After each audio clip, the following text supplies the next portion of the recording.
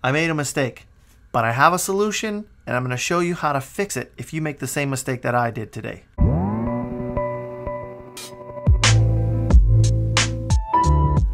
Alright, I realized that I made a mistake and whenever you make mistakes, there's a lesson to be learned. So I'm going to share with you the lesson that I learned in the mistake that I made today in our Lightroom episode. But before we do that, I just want to give you guys a heads up that we're going to be doing something new, something awesome.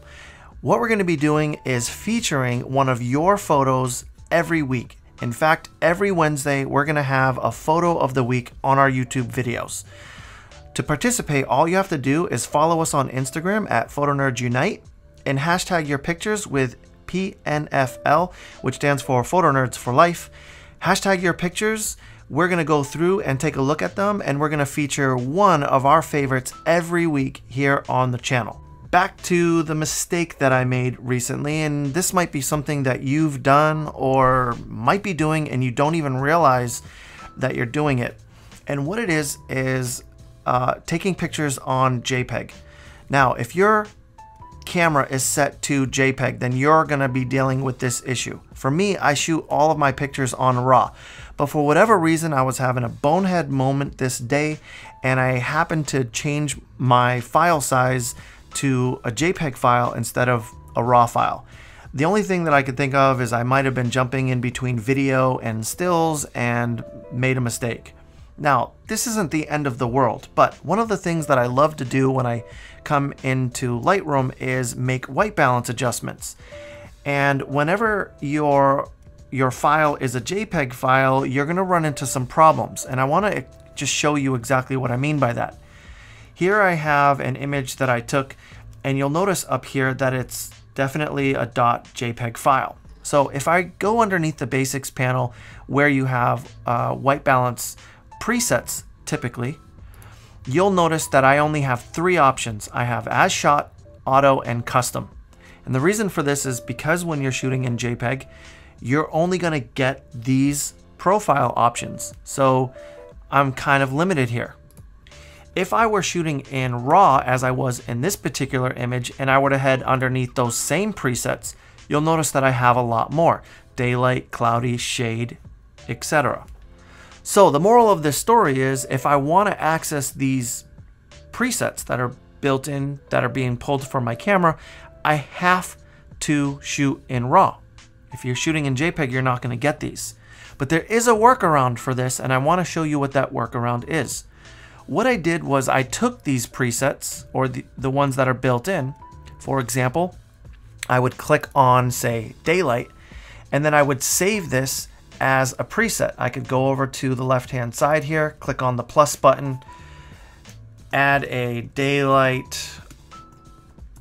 white balance. And I'm not going to check any of the boxes except for the white balance options that I have here underneath the basic section. And then it'll ask me where I want to put it. I'm just going to hit create. So if I were to go back to that daylight picture, even though I don't have the presets here, and even though this is a JPEG file, I have a preset now that will give me a daylight white balance. And if I click on it, it will apply that white balance tone to this image. Let me go back to the other one and do this again with something a little bit more obvious. Let's say that we were going to do this with tungsten. I can go up to my presets, hit the plus button, type in tungsten, white balance, save it, and there you have it. Now if I go back to the JPEG and click on tungsten white balance, you'll see that it's going to apply that preset. So what I've done, knowing this, was I created a little cheat sheet, so to speak. I created an entire section just for white balance presets. And so now I have auto, daylight, cloudy, shade, all of those. So it doesn't matter if I'm working with a JPEG file or not. I can click on daylight or cloudy or skim through any of these and see if they work. I've also built myself a reset button so that I could reset my white balance back to the way that I downloaded it. That way I could kind of play from scratch here or if I decided I didn't like any of these presets, I could reset it back to the beginning and try and figure out another way to fix the white balance. But the moral of the story here is it's very important for you to know that whether you're shooting on RAW or whether you're shooting on JPEG, and it's also important for you to know that if you are shooting on JPEG, one of the advantages of shooting on RAW is that you're going to have these presets when you show up in Lightroom. There's many advantages to shooting on RAW aside from this one.